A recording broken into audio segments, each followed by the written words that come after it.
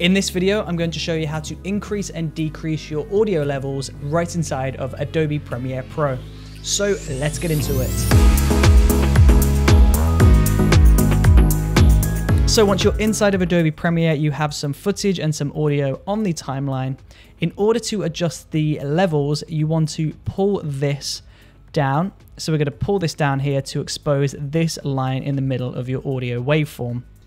And if we wanted to make this louder, then you would simply just pull this line all the way up. And as you can see, that's increased by 15 decibels.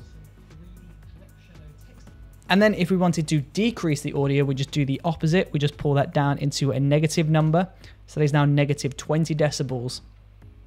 Of course, though, it's really important that you don't increase your audio levels too loud because you will distort the audio.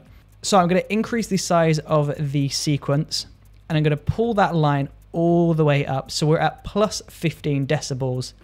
Now, if I play this back. In this video, I'm going to show you how to create this really awesome 3D drop shadow text effect right inside of. You can hear that sounds really bad, and that's because the audio has distorted. And you can see a visual reference of this on the right if you look at the audio monitor. So if we play this back, you can see this is all the way at the very top. It's peaking, and you know that it's peaking because it's at the very top. So in order to avoid peaking, you want to make sure that your maximum audio height is around negative 6 to negative 12. So we'll pull that down to 4. Again, that is way too loud. We'll pull that down into the negatives.